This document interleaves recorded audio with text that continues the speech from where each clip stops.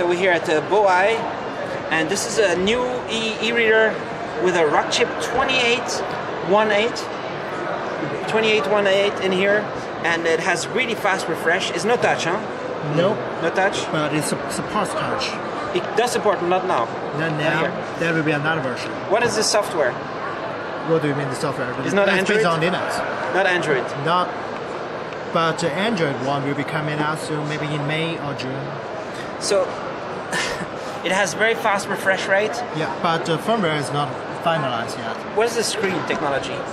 Uh, Ink Pearl. Ink Pearl? Pearl. Yeah. So is uh, fastest e-ink Pearl in the world, or is it same as Kindle, or what do you Same think? as Kindle. Same speed as Kindle. Yeah. What is the uh, the screen? What's it called? The microcontroller for the screen? Is it Rockchip or somebody else? You mean is it screen? Epson?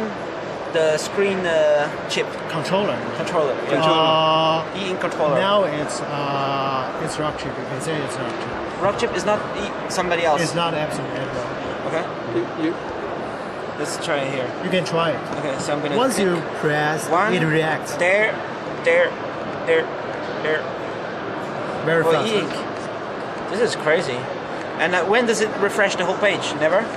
Uh, because the firmware is not ready yet. So it never And the refreshed the whole finalized page. version, there will be automatic refresh every three or five or ten pages. Nice. Because it gets uh, some lines. Yep. Because it remembers. Ah, you refresh here? yeah.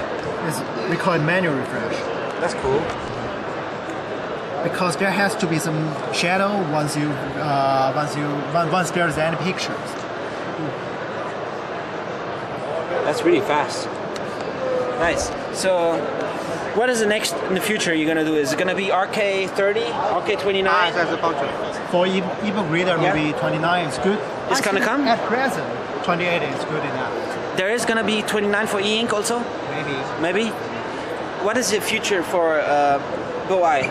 So these are the ma- on the market now. This is uh, Both Samsung? What is all here? these models have already been sold. the old Samsung They were Ravi is the Samsung, They were. but we are shifting to Rockchip rock chip for all of them.